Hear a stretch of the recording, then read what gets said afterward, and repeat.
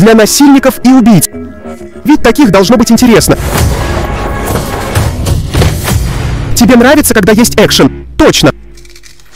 Канги Джун, насиловавший 15 детей, вышел сегодня после 20 лет. Может, мне лучше проследить. Если что случится, мы не успеем. Канги Джун, жирная свинья.